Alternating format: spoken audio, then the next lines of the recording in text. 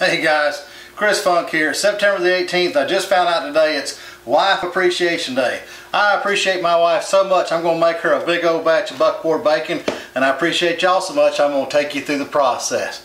Got a big old butt, got a bone in it. First thing we need to do is get a knife out and whittle that out because we don't want to cure the bone. Alright y'all, got it cut off the bone. I cut it into three pieces just because that's part of the way it came off the bone. And then the other large section I cut just to try to get them sort of uniform. It's just going to work better on the smoker. I don't have to worry about, you know, one large piece and one small piece on the timing on the smoker. Now all your instructions you need, this is High Mountain Seasoning Buckboard Bacon Cure. Uh, all the instructions you need are here. The most important thing you're going to need is a scale and your measuring spoons because it's, it's an accurate measurement and you need to have an accurate weight. Alright y'all, got the dry mix put in there, follow the instructions and end up being one tablespoon per pound, one and a quarter teaspoon per pound. Each one of these is about three pounds. So I've got it measured up. Next thing you do is make sure it covers every inch of that meat. Best way to do it is with your bare hands.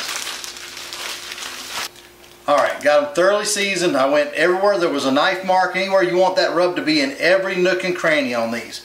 So it's going to cure the entire thing. I've got them wrapped up good, good and sealed. They're going to go on the bottom of the fridge for 10 days. Now the instructions say rotate them after the fifth day. Some home cure guys do it every other day. I tend to go every other day just because it makes me feel like I'm doing something. But trust me, in 10 days this is going to be cured up. We're going to go to the next process. You're going to love it. Alright y'all, we're done with our 10 day cure. I've Been flipping it every other day. This is the important part right here. Uh, I've got an Orion 25 in an ice water bath. The importance of that ice water bath is to leach out all the salt in that cure.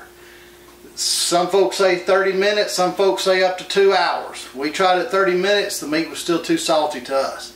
At an hour, it almost wasn't salty enough. So we settled in at 45 minutes. Now once you figure out what you like, set yourself a timer because you don't want to go to sleep and screw this up. 45 minutes has been just perfect for us. As soon as that's done, I'm going to take it out, I'm going to pat it dry, I'm going to let it air dry a little bit just to kind of get a little sheen to it. I think it's called a pellicle, don't get me wrong, but that's what helps the smoke to adhere to it. While it's doing that air drying, I'm going to be getting the smoker ready to go, using apple wood to smoke with. Next time you see this, it'll be right. Alright y'all, got these on the smoke last night, apple wood like I said. Brought them in after they hit an internal of about 160 Put them in the fridge overnight. Now that overnight stay lets that smoke get all the way through the meat, lets them rest a little bit. About an hour ago, put them in the freezer to tighten them up, and that makes them a little easier to slice. Now you see what it looks like, this gorgeous chunk of meat, and you can see the pile of it already starting to slice down there. I tell you what, I'm not going to lead you wrong. This is easy to do.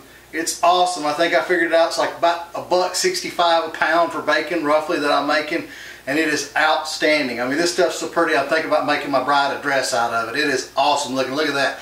We're going to put some in a skillet. I'll show you a piece of that, but you're not going to see no more of that unless you come to the house. Hey, that's up to y'all. All right, y'all. From box to butt to that. Perfection. Try it. You'll love it.